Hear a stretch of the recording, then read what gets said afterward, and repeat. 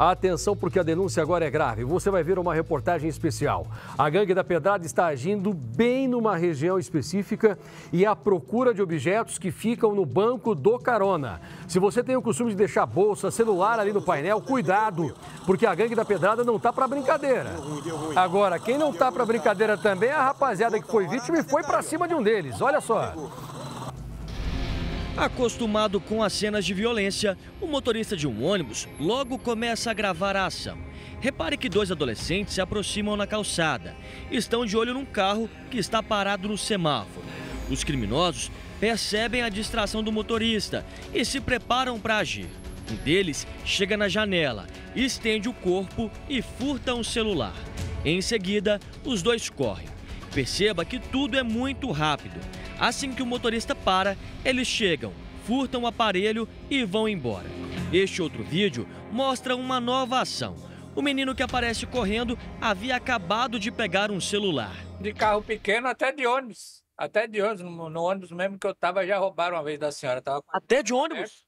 com a janela aberta, distraída, e o rapaz pegou ali no viaduto ali do Parque Dom Pedro. O moleque chegou e catou e já passou para debaixo do viaduto, já era. Maioria, maioria molecada. Muito moleque na rua. Não é difícil encontrar motoristas que foram vítimas da modalidade criminosa.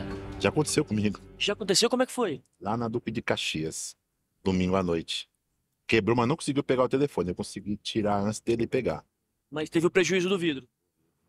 Tacou uma, uma pedra e pegou até no meu rosto a pedra. E aí ele tacou, tentou pegar, não pegou. Aí falou, abriu, eu consegui sair. Parei, o cara fui dar atenção pro rapaz que estava comigo, ele enfiou a cabeça aqui dentro do carro e levou o celular. Os flagrantes foram registrados aqui nessa região da zona leste de São Paulo. Para você ter uma ideia, logo ali em cima do viaduto é a Radial Leste. Os criminosos se aproveitam do trânsito e principalmente do horário de pico para agirem. Eles se aproveitam também aqui de baixo. Geralmente eles fogem para as comunidades que ficam aqui na região, inclusive logo ali abaixo do viaduto tem uma dessas comunidades. Eles são muito rápidos. Eles percebem a desatenção dos motoristas, quebram o vidro, pegam os celulares e correm. Eles fogem para cá e não são mais encontrados. Perigoso demais, né? é meio perigoso essa região aqui, ó.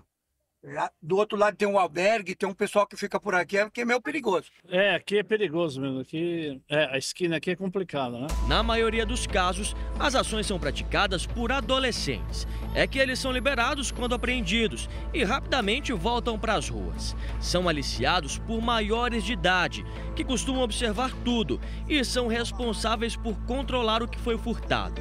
Esta mulher mora na região e conta que o próprio filho faz parte da gangue.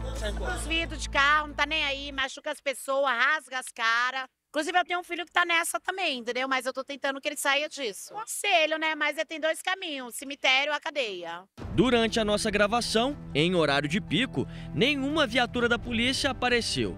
Enquanto isso, os motoristas precisam redobrar a atenção. Tem que fechar a janela. O bom de ter isso filme é isso. Que aí eles não vê quem tá dentro, se tem celular, a mostra. É difícil, né? Assim, ainda mais por causa do trânsito, né?